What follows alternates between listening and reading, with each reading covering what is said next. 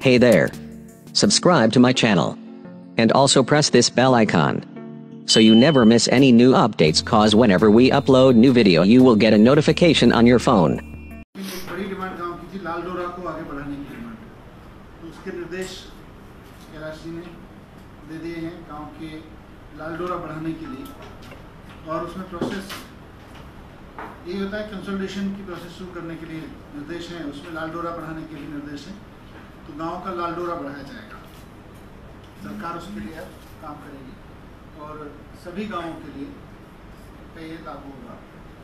एक तो ये है, गाँव के लिए इसमें फ़ायदा है कि बहुत, काफ़ी लोग, बहुत परेशान रहते थे। गाँव में परिवार बढ़ गए, फैमिली के साइज़ बढ़ गए।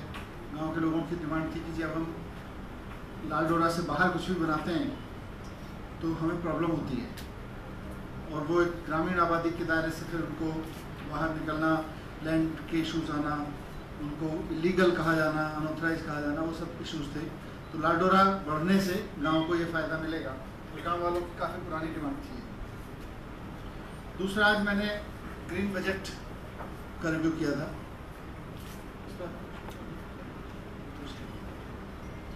आपको याद होगा कि जब इस बार हमने बजट पेश किया था तो उसमें ग्रीन बजट के तहत 26 पॉइंट एजेंडा था 26 पॉइंट ग्रीन बजट था। उसमें उसका पहला रिव्यू था आज।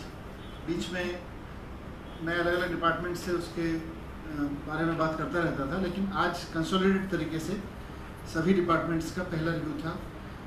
सभी मिनिस्टर्स भी उसमें बैठे थे।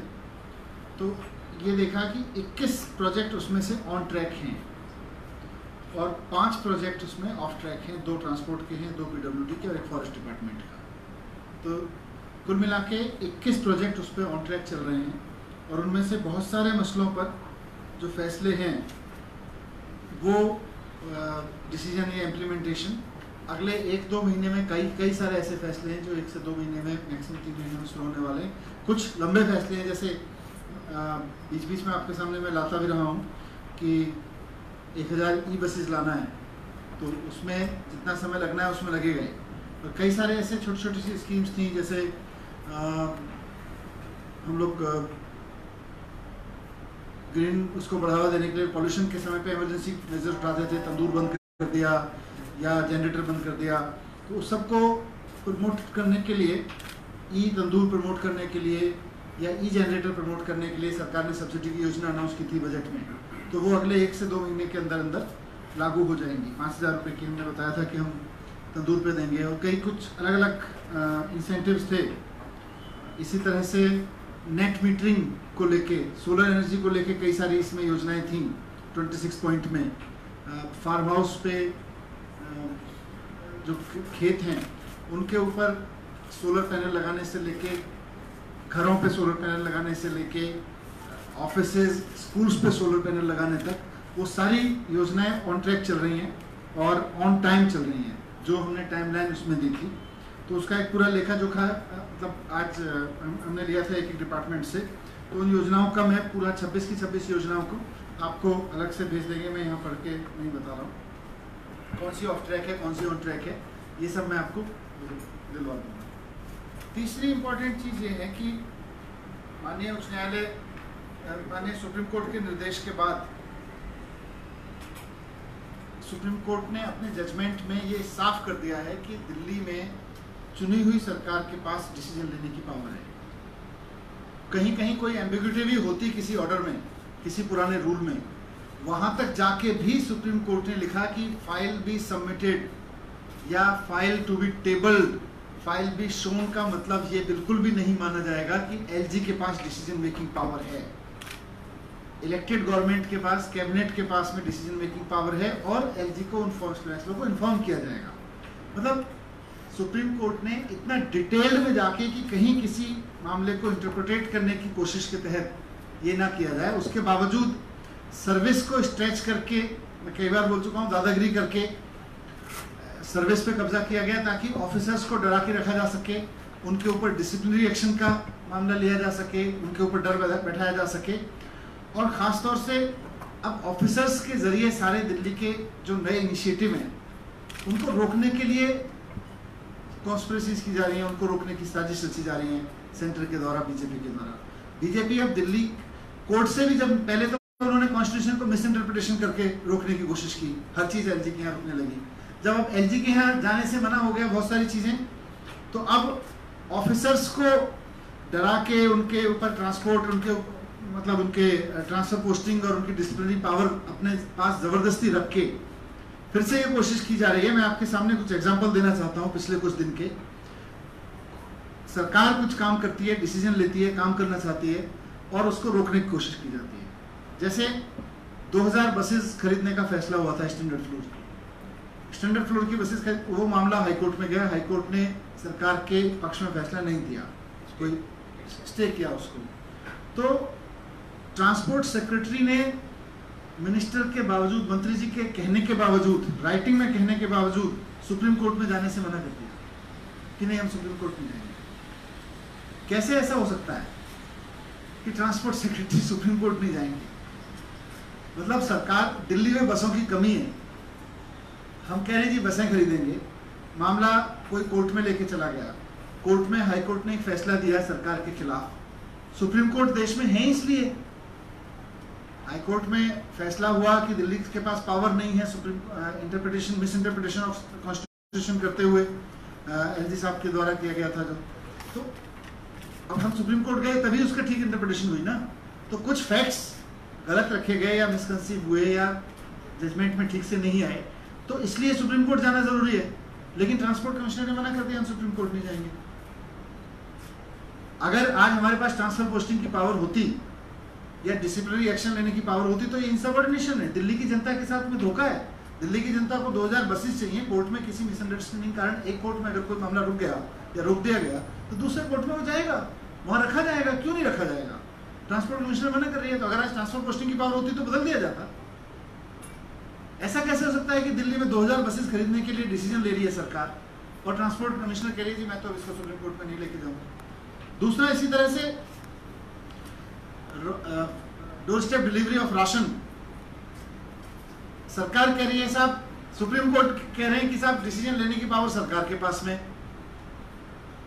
कमिश्नर पर लेकिन फ़ूड कमिश्नर बना, कौन होगा? यह तय करने की पावर ज़बरदस्ती केंद्र ने एलजी के पास रख दी। कह के कि नहीं जी, हम सुप्रीम कोर्ट के ऑर्डर को नहीं मानते, हम तो अपना मानेंगे। और अब सेंट्रल गवर्नमेंट द्वारा अपॉइंटेड फ़ूड कमिश्नर कह रहे हैं, जी, मैं तो doorstep delivery of ration लागू नहीं करूँगा। मिनिस्टर बार बार लिख के दे रहे हैं ओवररूल कर रहे हैं उसके डिसीज़न को। उसके बावजूद नहीं मान रहे। कह रहे, जी, मैं तो नहीं करूँगा। तो आज अगर ट्रांसफ़र पोस्टिंग की पावर होती तो बदल दिए जाते। डिसिप्लिनरी एक्शन हो सकता था इनसबॉर्डिनेशन हो सकता था। गरीब लोगों के राशन के मामले में गड़बड़ करने का आरोप लग सकता था उनके ऊपर, कर रहे हैं गड़बड़। लेकिन आज ट्रांसफ़र पोस्टिंग की पावर नहीं सर्विसेज़ नहीं है।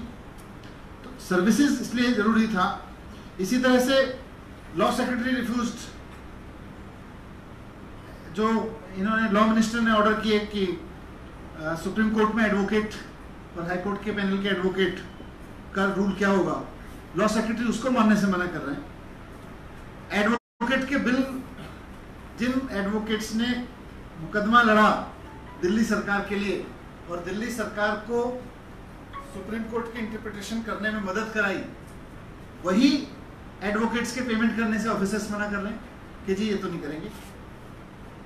ये डीएसआईडीसी की को काम दिया था बजट में पैसा भी दिया था, सड़कों के अनऑथराइज कॉलोनी के काम करने के लिए। डीएसआईडी का एमडी एमडी खुल के कह रहे जी, मैं तो काम नहीं करूँगा। किसी डीएसआईडीसी के एमडी की, सरकार के कॉरपोरेशन के एमडी की हिम्मत हो गई, वो कहेगा, जी, आपने पैसा दे रखा है, मैं पहले करता आ रहा था, ये काम अब नहीं करूँगा। क्योंकि उसको पता है सर्विसेज़ तो सरकार के पास है ही नहीं। इन्होंने दादागिरी से सेंटर ने कब्जा रखा है। वरना सुप्रीम कोर्ट के ऑर्डर के, इतने स्पष्ट ऑर्डर के बाद मतलब और सुप्रीम कोर्ट क्या कहेंगे? सुप्रीम कोर्ट के इतने स्पष्ट ऑर्डर के बाद हम कह रहे हैं, जी, आप डीएसआईडीसी काम करेगी वहाँ पे। वो कह रहे हैं, मैं तो नहीं करूँगा। मेरी तो तो उनकी पर्सनल कंपनियाँ हो गई हैं क्या ये? ये सरकार के हिसाब से नहीं चलेंगे। तो केंद्र, ऐसा हो ही नहीं सकता कि केंद्र सरकार के इंटरवेंशन के बिना केंद्र सरकार क्यों रखना चाहती है? बीजेपी क्यों रखना चाहती है सर्विसेज़ अपने कंट्रोल में? ताकि आईएएस अफसरों को ट्रांसफ़र पोस्टिंग का, उनके खिलाफ एक्शन लेने का धमकी देके दिल्ली सरकार के डिसीज़न को रुकवाया जा सके। इसीलिए मैं आपको कुछ एग्ज़ाम्पल दे रहा हूँ मैं। बसेस के मामले में वहाँ सुप्रीम कोर्ट में नहीं जाएँगे। Doorstep delivery of ration का फैसला नहीं मानेंगे। वकीलों का पेमेंट नहीं करेंगे। दिल्ली सरकार अगर सुप्रीम कोर्ट में वकील लगाएगी, उस फैसले को हम नहीं मानेंगे। हम ऐसे ही एक पीजीसी है पब्लिक ग्रीवेंस कमीशन उसकी पोस्ट खाली पड़ी है। उसमें हमने चेयरमैन और मेंबर्स लगाए। सेक्रेटरी यार कह रहे कि हम तो नहीं मानेंगे, हम तो इसको इम्प्लीमेंट नहीं करेंगे तो एलजी के पास जाएगी। भाई, क्यों जाएगी एलजी के पास? जब एडमिनिस्ट्रेटिव रिफॉर्म जिस डिपार्टमेंट के तहत वो कमीशन आता है, पूरा एडमिनिस्ट्रेटिव रिफॉर्म डिपार्टमेंट पूरा सेक्टर अगर सुप्रीम कोर्ट कह रहे हैं कि चुनी हुई सरकार के पास में तो एआर मिनिस्टर के इस डिसीज़न के बाद की एआर के तहत आने वाले पीजीसी में कौन चेयरमैन होंगे, कौन मेंबर्स होंगे? तो ये मैं आपके सामने इसलिए रखना चाह रहा हूँ कि किस तरह से सर्विसेज़ पे कब्जा करके पिछले दरवाजे से काम रोकने की साजिश रची जा रही है। और ये काम आम आदमी पार्टी के काम नहीं है। दिल्ली में बसेस आना आम आदमी पार्टी का मतलब आम आदमी पार्टी का एजेंडा है। लेकिन काम दिल्ली की जनता के हैं। आम आदमी पार्टी की सरकार इसको करना चाहती है। गरीब लोगों को राशन मिल सके, घर पे राशन मिल सके, लाखों रुपए की चोरी होती है, करोड़ों रुपए की चोरी, राशन की वो रोकी जा सके, ये दिल्ली के आम आदमी का काम है। दिल्ली के मुद्दों को सुप्रीम कोर्ट में ठीक से रखा जा सके, दिल्ली के ठीक वकील वहाँ पहुँच सके। सेंट्रल गवर्नमेंट के वकीलों का तो कोई मतलब ही नहीं है। सेंट्रल गवर्नमेंट के पैनल पे जो काम कर रहे हैं, वो तो दिल्ली सरकार के हिसाब से कैसे काम करेंगे? ये कह रहे हैं, नहीं जी, नहीं मानेंगे। अनऑथराइज कॉलोनीज का काम दिल्ली की जनता का काम है। वो कह रहे हैं, जी, हम तो नहीं बनाएँगे सड़कें, नालियाँ हम तो नहीं बनाएँगे। तो ये जो दादागिरी दिखाई जा रही है पीजीसी कमीशन पब्लिक को अगर अगर कहीं कंप्लेंट करनी है पीजीसी में कंप्लेंट करती है आम जनता, वो कह रहे हैं, हम तो नहीं नोटिफाई करेंगे। जी तो ये जो डिसीजंस हैं, जो आईएएस ऑफिसर्स द्वारा उनको डरा के, धमका के, उनको कई ऑफिसर्स आके प्राइवेट में बता जाते हैं, जी। बोले, जी, हमारे ऊपर दबाव बहुत है। पहले दबाव होता था, सब चीज़ें एलजी के पास भेजो अब दबाव ये नहीं है। अब दबाव इस बात का है कि जी डिसीज़न को रोक के रखना है। तो ये कहना चाहता हूँ कि काम तो जनता के होके रहेंगे, ये दिल्ली की जनता है, इसको हल्के में मत लो। ये दिल्ली की जनता की चुनी हुई सरकार है, इसको भी हल्के में मत लो। दिल्ली की जनता सरकार भी अच्छे से चुनना जानती है और दिल्ली की जनता अपना काम भी कराना जानती है। काम अगर रोकने की कोशिश करोगे तो ना सरकार छोड़ेगी और ना जनता छोड़ेगी। जो भी रोकने की कोशिश कर रहे हैं। तो इसमें जो क्लैरिफिकेशन जो पहला जो ट्रांसपोर्ट वाला बता रहे हैं ये चार जुलाई के बाद की स्थिति है अभी और- ये सारी चीज़ें मैंने आपकी बात कर रहा हूँ। रिटर्न में देखिए आप रिटर्न में देने के बाद। और ये राशन वाला लॉ के पास भेजा था तो उसके बाद मना कर वो दिया रहे फ़ाइल कह रहे मैं तो नहीं इम्प्लीमेंट करता जब मिनिस्टर उसको कह रहे हैं सरकार ने सुप्रीम माननीय सुप्रीम कोर्ट और इससे ज़्यादा क्या कहेंगे elected government is the government वो डिसीज़न लेगी। कहीं भी कोई एम्बिग्यूटी है अगर फ़ाइल एलजी के पास अगर to be submitted to LG लिखा हुआ है तो इसका मतलब डिसीज़न लेने के लिए नहीं है जस्ट फॉर इंफॉर्मेशन है। उतना सब एम्बिग्यूटी तक दूर कर दी तो ज़बरदस्ती स्ट्रेच करके क्यों कर रहे हैं? तो सर कोई शिकायत आई है सीएस और सीएस के पास और वो मुझे उन्होंने भेजी है। किसी ने शिकायत की हुई है तो अभी तो जब तक मैं उससे शिकायतकर्ता से मिलना लोग मेरे लिए कुछ कहना मुश्किल होगा? मैं शिकायतकर्ता से मिलकर उनके सारे फैक्ट समझ के उसके बाद फिर आपके पास मनीष मनीष कई जगहों पर वाटर लॉगिंग हो रही है, खासतौर पर